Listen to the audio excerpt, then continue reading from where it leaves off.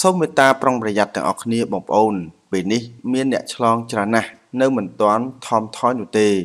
ក្រសួងសុខាភិបាលប្រកាសរកឃើញអ្នកឆ្លង COVID-19 ចំនួន62នាក់បន្ថែមទៀតក្រសួងសុខាភិបាលកាលពីថ្ងៃទី12ខែមីនាឆ្នាំ2021នេះក្នុងរយៈពេលត្រឹមតែ24ម៉ោងប៉ុណ្ណោះកម្ពុជាមានករណីឆ្លង COVID-19 រហូតទៅដល់62នាក់និងជាសះស្បើយ22នាក់ផងដែរ ក្រសួងសុខាភិបាលបានបញ្ជាក់ថាក្នុងចំណោមអ្នកឆ្លងថ្មីទាំង62នាក់នោះ មានករណីពាក់ព័ន្ធចូលក្នុងសហគមន៍ព្រឹត្តិការណ៍20កុម្ភៈចំនួន60នាក់និងអ្នកដំណើរមកពីក្រៅប្រទេសចំនួន2នាក់ទោះជាយ៉ាងណាក៏មានសញ្ញាល្អដែរដែលសារតែថ្ងៃនេះ កម្ពុជាបានព្យាបាលអ្នកជំងឺ Covid-19 ឲ្យជាសះស្បើយចំនួន22នាក់បន្ថែមទៀត សូមជម្រាបថាគិតត្រឹមថ្ងៃទី12ខែមិនិនាឆ្នាំ2021នេះក្រសួងប្រទេសកម្ពុជាបានរកឃើញអ្នកឆ្លង COVID-19 ចំនួន1225នាក់ហើយក្នុងចំណោមអ្នកជំងឺទាំងអស់នោះមានអ្នកជាសះស្បើយប្រមាណ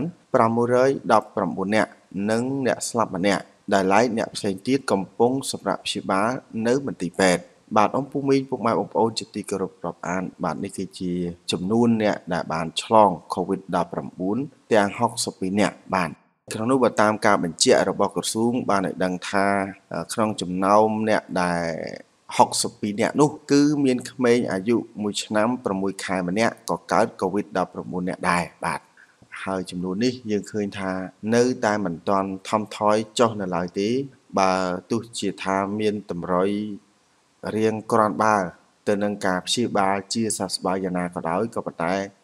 ករណីឆ្លងយើងឃើញនៅតែមានកើនជាលំដាប់គួរឲ្យមានការព្រួយបារម្ភខ្លាំងមែនទែនបាទហើយក្នុងនោះគឺម្សិលមិញមានរឿងភ្ញាក់ផ្អើលជាខ្លាំងដោយមានបរិសម្នាក់វ័យ50ឆ្នាំហ្នឹងបានស្លាប់ដោយសារជំងឺ Covid-19